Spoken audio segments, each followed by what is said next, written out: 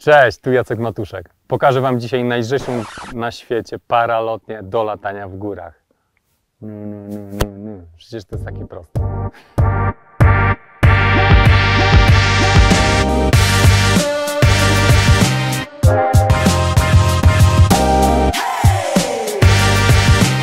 Oglądajcie to wideo uważnie.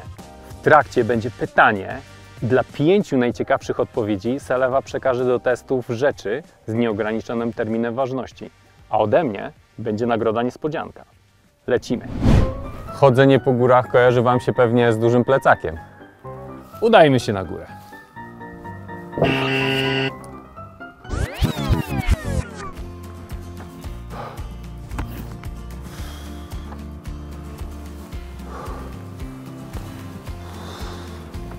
Tak nie musi wyglądać hike and fly. Współczesne paralotnie są małe i lekkie. Zmieszczą się do Waszego standardowego plecaka. Cały plecak waży 5 kg. Ciekawe ile waży Twój bez paralotni. Dzisiaj jesteśmy w Szczyrku i będę testował najnowszą paralotnię od Dudek Paragliders Run and Fly 2. Chodźmy.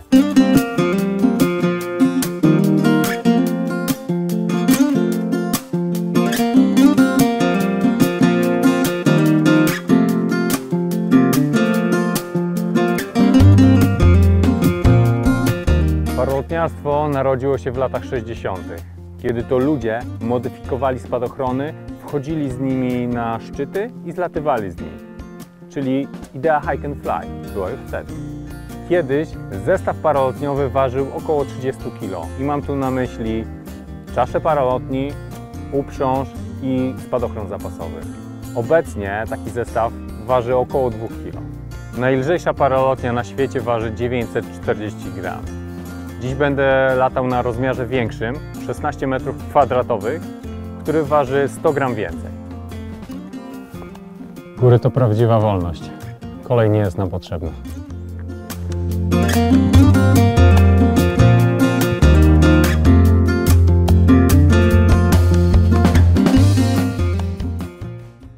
Jak długo szliście na szczyt? Szliśmy godzinę i 45 minut. Zajęło nam to jakieś półtorej godziny. Trzy godziny. Trzy godzinki. Tak. A jakbym pani powiedział, że można stąd zejść w 5 minut, to by pani skorzystała? No tak. Nie, nie, nie skorzystalibyśmy. Nie no, lepiej sobie zejść, no Ładna spokojnie. pogoda. Tak. Tak? Tak. No, jasne. Jak Żeby- myślisz, co tutaj jest? Nazwa wskazuje na coś w stylu spadochronu. Okej. Jakiś wingsuit? Nie. Paralotnia? Może pan będzie paralotnią leciał? To po prostu zlecieć stąd? Mhm. Frank, lecimy? Ja bym oscylował między pół kilo a kilo, ale mogę się mylić. A da się Jak stąd buchenek zjechać? chleba.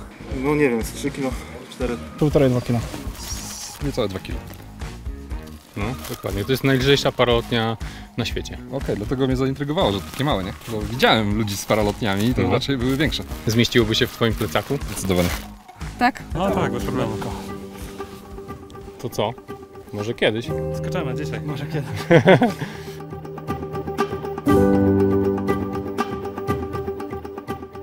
Z przodu mamy tubę, która usztywnia nam cały profil paralotni.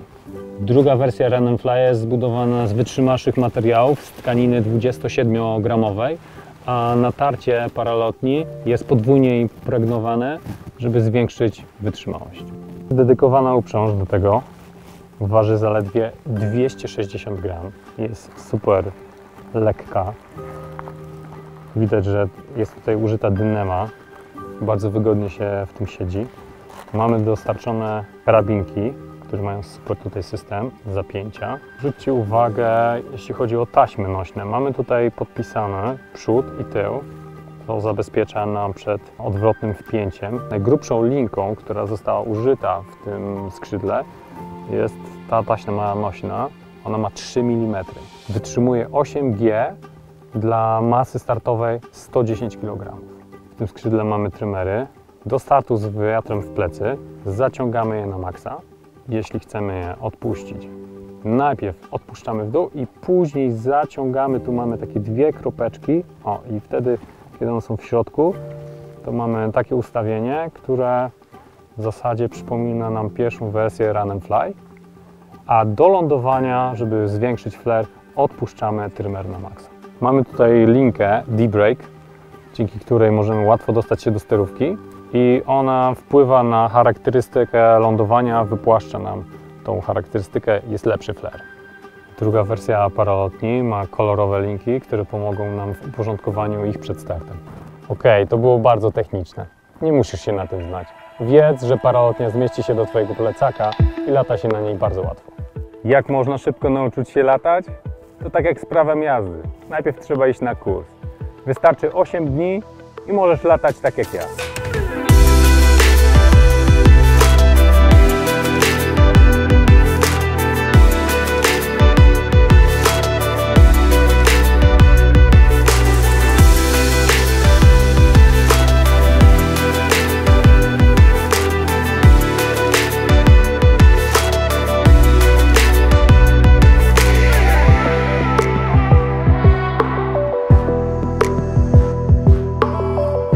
Zostawcie komentarz pod tym filmem, dlaczego chcielibyście latać w górach. Najciekawsze odpowiedzi nagrodzimy rzeczami od Salewa. Drugą nagrodą będzie zabawa paralotnią na ziemi, tak zwany ground handling, który poprowadzę osobiście. Po co schodzić?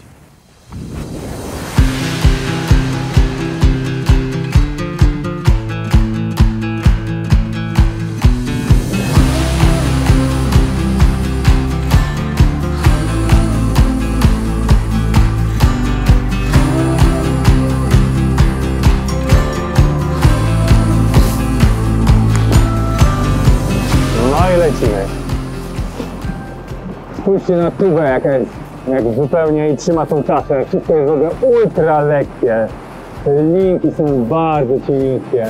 Nie ma tutaj deltek, wszystko jest zaplecione. No pięknie. Skrzydło bardzo fajnie chodzi za ręką, ale w momencie, kiedy mocno skręcamy, to nie wpada w jakąś taką spiralę.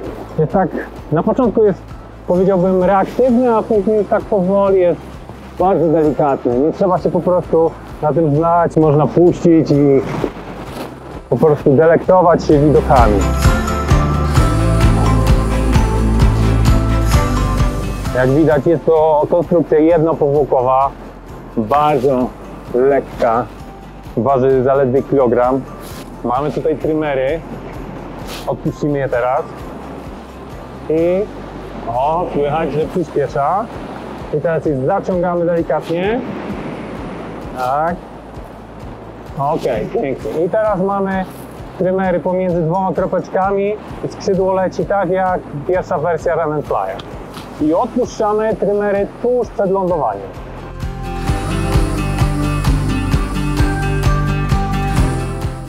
Zakręcimy może jeszcze kółeczko.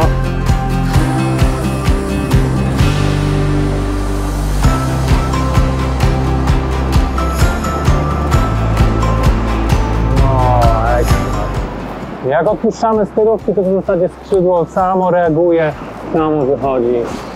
Żeby za- zaciągnąć uszy. O, to jest moment, bardzo delikatnie. Jak wygląda to skrzydło na teście SID możecie zobaczyć w linku pod tym wideo.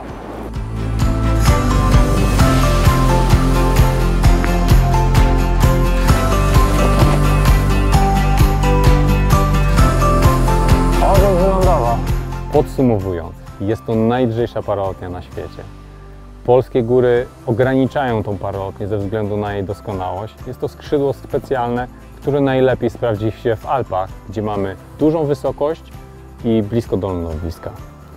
Jest to tam bardzo popularne wchodzenie na szczyty i zlatywanie z nich, na przykład w Mont Blanc, Spitsbernina. W opisie pod tym wideo znajdziecie linki do filmów z wykorzystaniem Run and Fly. Do zobaczenia w górach. Jeśli chcielibyście zobaczyć więcej, na moim kanale YouTube Jacek Matuszek zobaczycie sesję z ground handlingu ze skrzydłem Run and Fly 2.